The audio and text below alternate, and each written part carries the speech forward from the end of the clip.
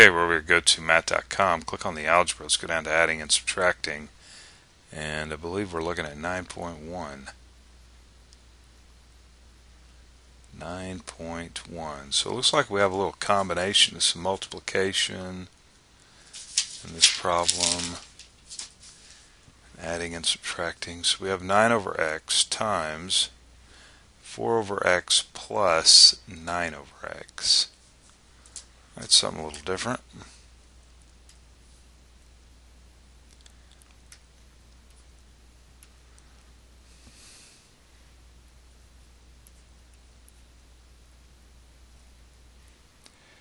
Four over x plus nine over x.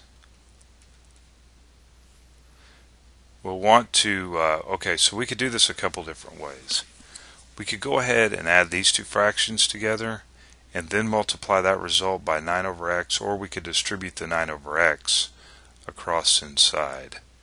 And uh, I think what we'll do is we'll do what's in parentheses first. Alright so we have a common denominator so we just add the numerators and 4 plus 9 is 13 over x times 9 over x. And then multiplication, we just multiply the numerators. And so that's going to be uh, 90, 107, uh, 117, yeah. And then x squared. And we're done. Hey, that was pretty easy, wasn't it? Right, 117 over x squared. Okay. So we're going to gotomath.com. See you in the next problem.